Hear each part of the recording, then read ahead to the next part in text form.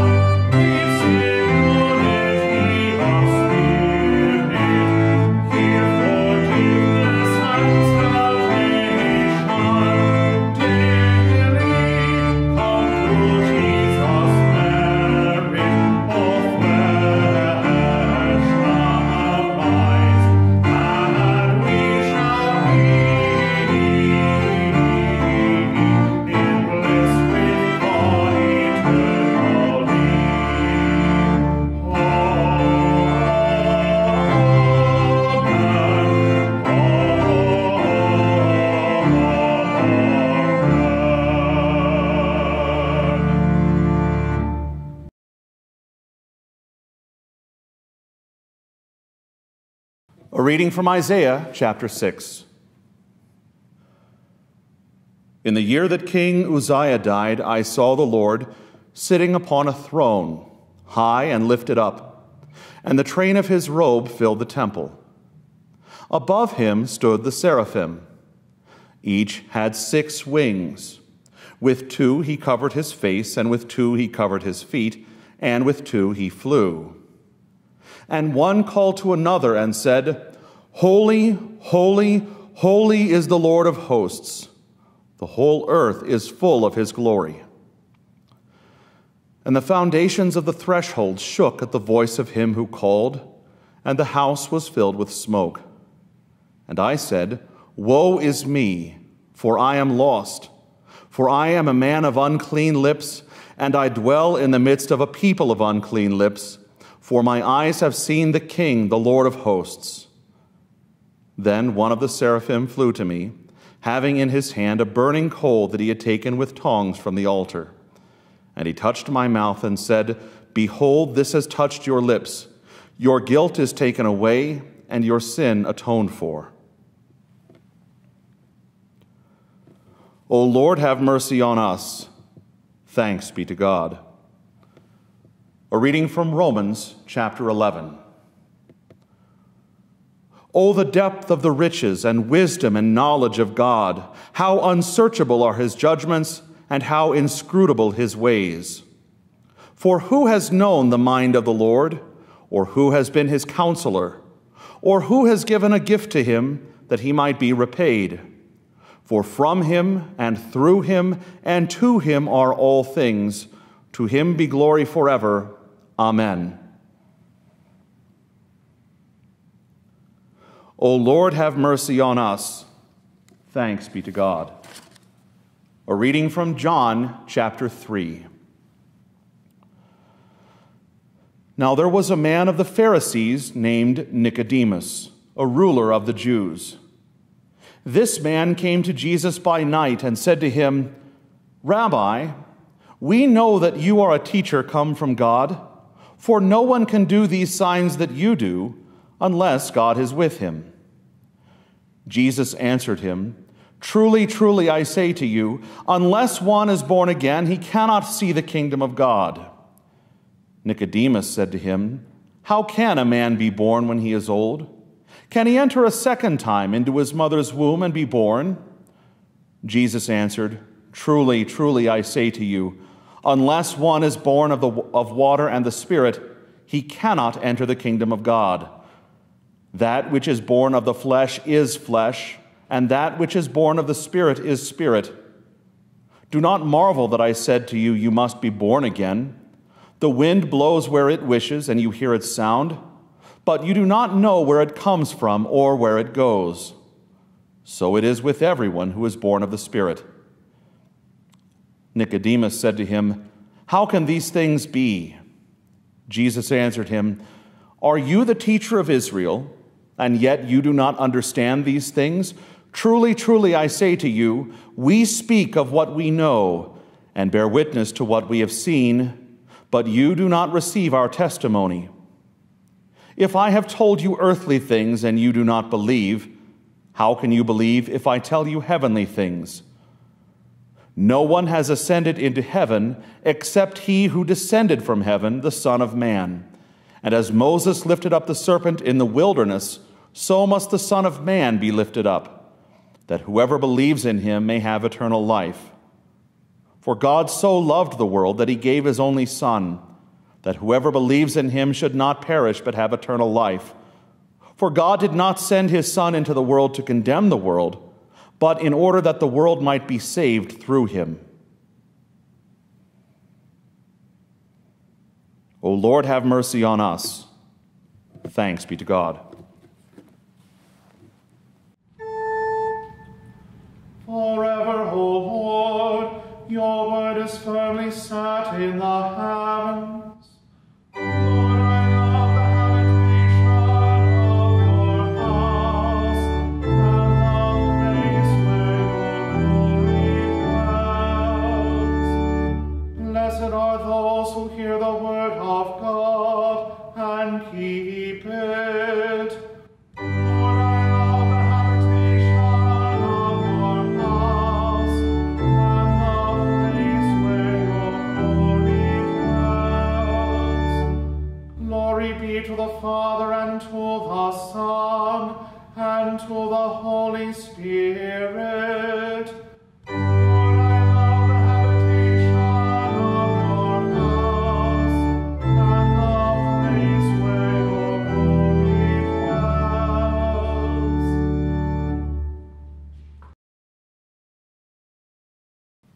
Father, and of the Son, and of the Holy Spirit, Amen.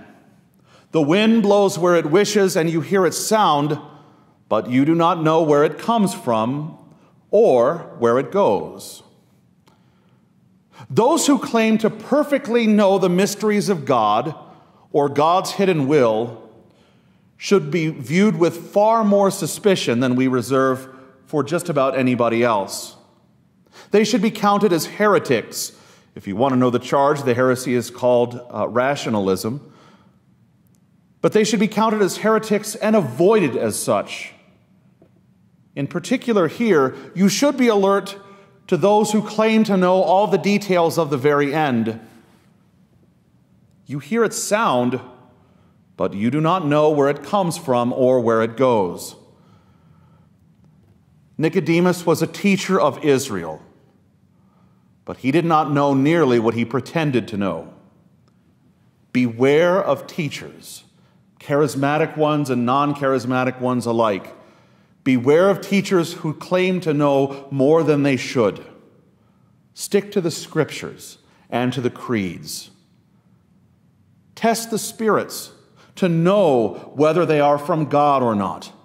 For many false prophets have gone into the world. By this you know the Spirit of God. Every spirit that confesses that Jesus Christ has come in the flesh is from God. And every spirit that does not confess Jesus is not from God. Trust not in princes, trust not in bureaucrats or candidates. Beware those who call for trust. Trust God and His promises. Test to see if the Spirit is from God or not by checking to see whether the Spirit is confessing that Jesus Christ came in the flesh. The test for biblical orthodoxy is simply the test for Christology. Does it confess Christ? So beware of those who claim to know more than the Bible says. Beware of those who claim to know, have put together the dots that the rest of the Christian church for 2,000 years hasn't. But beware of the other side too. Beware of the mystics. Beware of those who put on a fake profundity and trade in ambiguity. Beware of those who sound like they're saying something really profound, but then when you investigate it, it's nothing at all. It's clouds and smoke.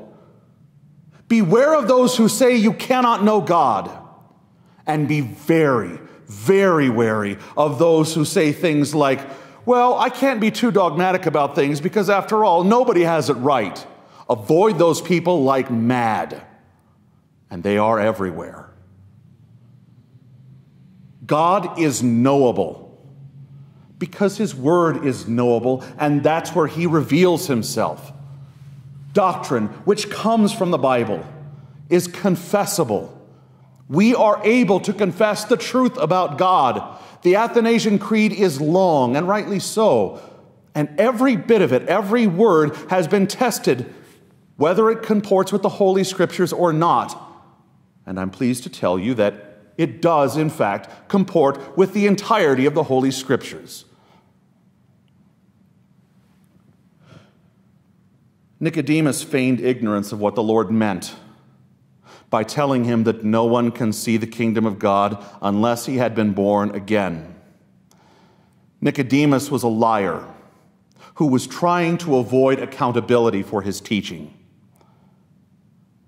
For the mystery of the Holy Trinity, just like the mystery of the incarnation, just like the mystery of God's love for us in Christ, is not a secret. It is a mystery, yes. A secret remains a secret as long as you don't know it. But once you know it, the secret is gone. A mystery, however, remains a mystery even when it is revealed. And don't let anyone abuse that word for you. The word mystery simply means we could never know it unless God revealed it to us. So the Trinity is a mystery. We can know it, but we're not going to learn it by science. We're not going to learn it by philosophy. We're only going to know the Trinity because God reveals himself as triune.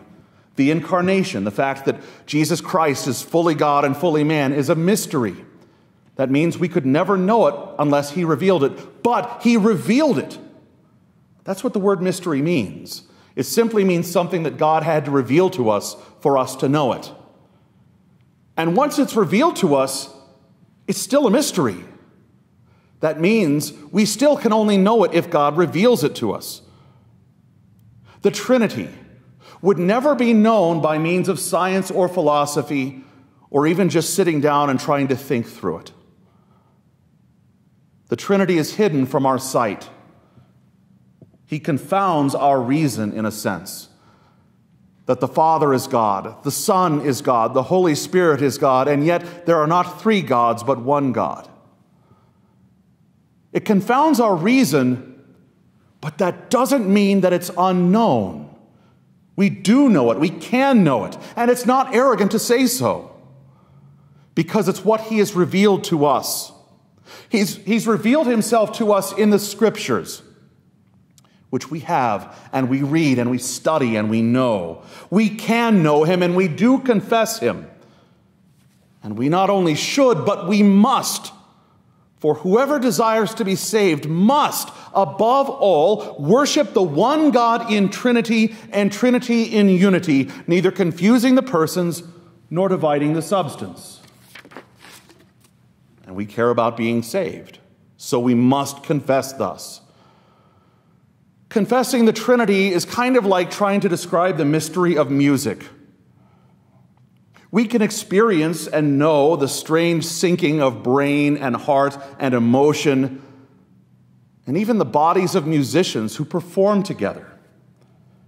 We should recognize that music is something greater than ourselves that we participate in. In a similar way, we can know the affection and bond that a couple who has been married for a long time enjoys. Music and love are knowable. They are confessable. But they're also mysterious in their own way because we can't fully understand them. We can't fully explain them. There are parts that we kind of know by experience, but can't really give good words for. And any attempt to describe that, that sort of thing, music or the bond of a long married couple, any attempt to put it into words is always going to fall flat there is no analogy to describe exactly what they're like. All of those fall flat as well. But they're not secrets. We don't need to resort to mumbo jumbo and Facebook quotes done up to look like they're really deep thoughts to try to describe them. And when it comes to the Holy Trinity, it is far more serious than music or the love of husband and wife. Not that those things don't call for reverence, they do. But the Holy Trinity, of course, is infinitely greater. He demands reverence. We need to confess the Trinity whom we worship, and we need to confess Him precisely, even if the math does not add up for us. Reverence requires us to speak carefully respectfully, in humility, and at the same time, though we might be awed at the whole thing, reverence also calls us to joy. Because think of what we're describing when we describe the Holy Trinity. Think of what we're confessing when we say the Athanasian Creed. We're not just describing a beautiful supernova or bird of paradise or a wonderful symphony. We're not describing something that is wonderful but very distant. We are describing the God whom we worship, and in describing him, we are worshiping him. And this is not just any God. This is not some distant being who doesn't know us. This is the God who has loved us by sending his Son. If you insist on subduing the doctrine to all of your reason and geometry, then the Holy Trinity will forever frustrate you. It will, be, it will become an exercise in frustration and ultimately ego. What is called for here is reverence. Reverence calls us to embrace with humility the simple reality that there are things that we do not fully comprehend, such as where the wind blows, but we nonetheless know and benefit from. The wind pollinates and waters the earth. It brings fresh air to us. It provides a multitude of benefits we rarely consider. And so it is with the Holy Trinity. We can confess the Trinity in unity and the unity in Trinity, and we should. We should speak of the Father's love for his beloved Son, from which proceeds the Holy Spirit. But here is more than all. Here, dear Christian, is joy. The Holy Trinity was never at any time incomplete or never in any need. He did not need someone to love because the Father and the Son and the Holy Spirit love one another perfectly. They are satisfied and complete and always have been. And yet, the Trinity chose to, to create us in love and for love, and to bring us into Himself even after we rebelled against Him in sin. And even long before He formed us in our mother's wombs, He knew us. Greatest of all mysteries, it seems, is not just the Trinity, not just the incarnation, but the mystery that God knows fully who we are not just the hairs on our head, but all the inner thoughts of our mind and heart, the ones we don't even like to admit to ourselves. He knows all of them. And even knowing all of that, knowing how we would treat his son when he sent him into the world, knowing how we would rebel against his law, knowing all of that, he still, still loves us. He still wants us. He still sacrificed his son to win us back to himself. He even loves Nicodemus. The reason why baptism is a major theme for the Feast of the Holy Trinity is because today we also consider the Trinitarian name, the name into which we are baptized. Note carefully the name of the Trinity which is not a formulation that was invented by the church. They come straight from the words of our Lord in the last chapter of Matthew. He says, Go therefore and make disciples of all nations, baptizing them in the name, singular, one name, the name of the Father and of the Son and of the Holy Spirit. We did not invent the name of the Trinity, even though we invented the word Trinity to describe it. He gave us the name, the Father, the Son, and the Holy Spirit. Note carefully what kind of name that is. That name is love. It's relational. It's not functional. Despite the attempts of unbelieving church bodies to try to say otherwise, he did not name himself Creator, Redeemer, and Sanctifier. He names himself Father, which is a relational word. It shows love, that he has someone to love and the Son, the beloved, the one whom he loves, and who loves the Father, and the Spirit, who proceeds from the Father and the Son in love. And he brings into that name, that one name, he brings into his family in baptism and loves us with the love that holds nothing back and asks for nothing in return. Because that's who God is. He is love. And because He is love, He loves. This is how the Father loved the world that hated Him. He sent His only begotten, His beloved Son, into our flesh to be tortured and killed by crucifixion. And He did that as the reconciliation price for our sins, so that whoever believes in Him does not perish but receives eternal life. That kind of love, dear Christian, is also a mystery. We know it's true.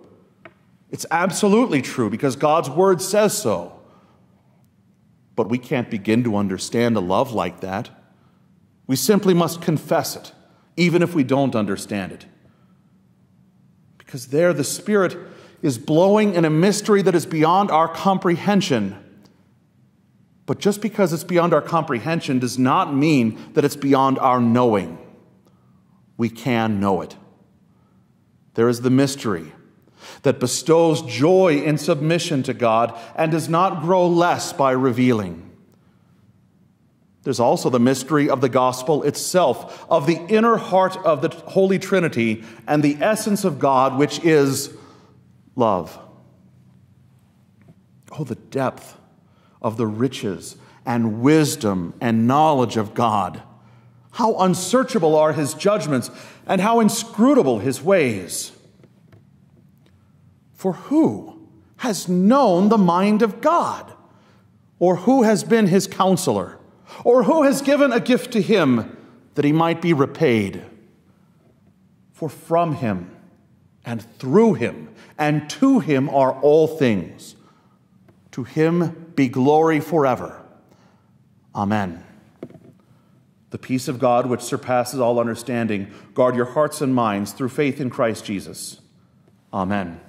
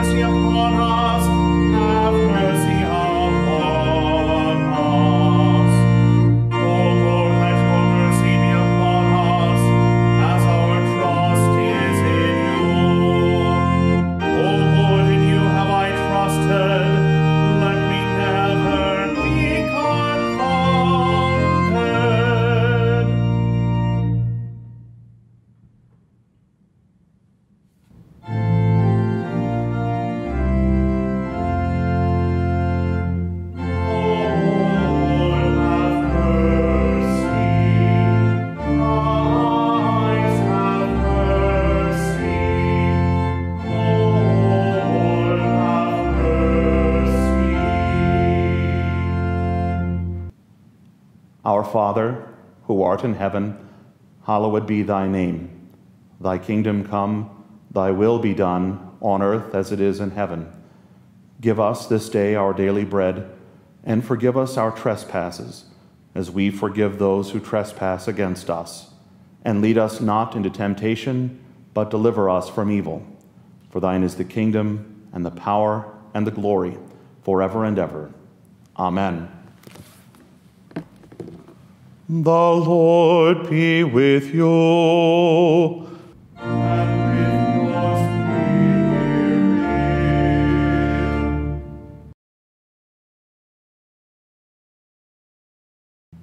Almighty God, by your grace alone, we are called into your kingdom to confess the true faith, to acknowledge the glory of the eternal Trinity, and in the power of the divine majesty, to worship the true unity. We beseech you that you would keep us steadfast in this faith and evermore defend us from all adversities. For you, O Father, Son, and Holy Spirit, live and reign, one true God, now and forever. Amen. O Almighty Lord God, who breakest the power of the oppressor and stillest the noise and tumult of the rabble, stir up thy great strength, we beseech thee, and come to help us. Scatter the counsels of them that secretly devise mischief, and do thou bring the dealings of the violent to naught. Cast down the unjust from high places, and cause the unruly to cease from troubling. Allay all envious and malicious passions, and subdue the haters and evildoers, that our land may have rest before thee, and that all the people may praise thee, our help and our shield, both now and evermore. Amen. O Lord, our heavenly Father, almighty and everlasting God, you have safely brought us to the beginning of this day. Defend us in the same with your mighty power, and grant that this day we fall into no sin, neither run into any kind of danger, but that all our doings, being ordered by your governance, may be righteous in your sight. Through Jesus Christ, your Son, our Lord, who lives and reigns with you and the Holy Spirit, one God, now and forever. Amen. Let us bless the Lord. Thanks be to God. The grace of our Lord Jesus Christ and the love of God and the communion of the Holy Spirit be with you all.